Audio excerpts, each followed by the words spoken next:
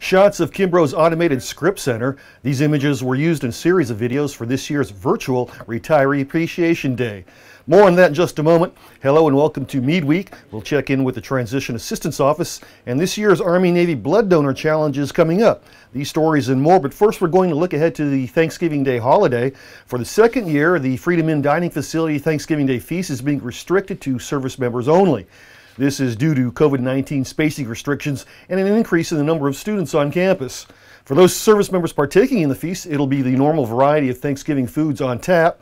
Fort Meade Garrison Commander Colonel Chris Nyland and Command Sergeant Major Michael Benkendorf invite senior leadership to join in serving the meal. Once again, the Freedom Inn Thanksgiving Feast is open to service members only. For those looking for another on-post option, Club Meade's annual Thanksgiving Day buffet is open for reservations. There are two seating times available, 12 to 2 p.m. and 3:30 to 5:30 p.m. Club Meade is open to all ranks and services, military and civilian. Reservations are strongly recommended. Tickets are rarely available the day of the event. Call 301 677 6969 for more information and to make your reservations. Meanwhile, due to COVID, this year's Retiree Appreciation Day was a virtual affair. We produced a series of videos highlighting retiree services on post, led by Colonel Chris Nyland. You put on the uniform to serve for the betterment of others, and even in retirement, you are role models to those in uniform today. You are role models to the communities you live in. Your service and willingness to share your experiences through volunteerism and mentorship inspires me. Soldiers assigned to Fort Meade today, the nation's platform for intelligence, information, and cyber operations, and home to the United States Cyber Command, are proud to follow in your footsteps. We created the Fort Meade Retiree Appreciation Day series for you to enjoy. These videos will bring you information you care about from our healthcare and benefits experts. You'll have access to these videos anytime on Facebook and on the Fort Meade website. We've tried to curate an experience for you that talks directly to the questions that you may have, your concerns. Other videos feature a slate of speakers from healthcare to legal services, plus a retiree's first point of contact, the team at the Retirement Services Office. Good morning. I just want to welcome everybody to the first uh, Fort Meade Retirement Services Appreciation Day virtually. My name is uh, Stacy Hendricks. I'm the Chief Retirement Service Officer at Fort Meade, and this is Miss I'm Christine Hopke. I am the Assistant Retirement Services Officer um, for Fort Meade, and um, we would like to welcome you to our virtual Retiree Appreciation Day. We are looking forward to providing you all with some useful information that we hope will help you out.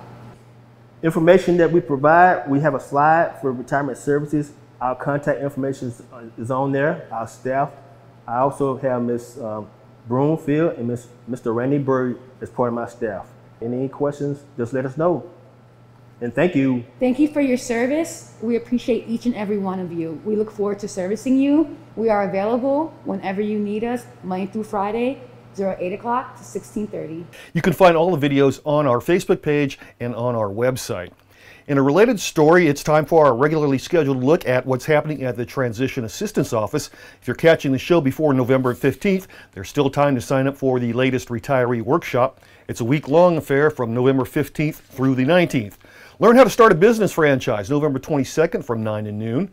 The next Transition Assistance Program workshop is coming up November 29th through December 3rd, and the next Executive TAP workshop is scheduled for December 6th through the 10th.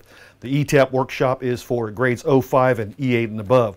You must register for all these virtual classes. Email the TAP office or give them a call at 301 677 9871.